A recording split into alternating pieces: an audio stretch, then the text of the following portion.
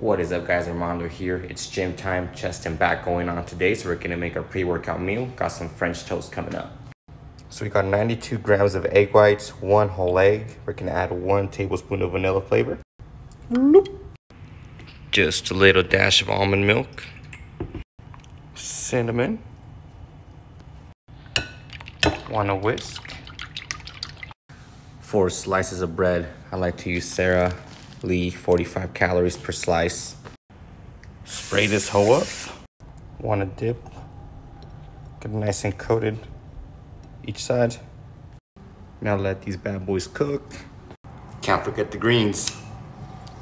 Kona says to use zero calorie sugar free syrup. Pro tip, warm it up. And you're done. Pre workout meal.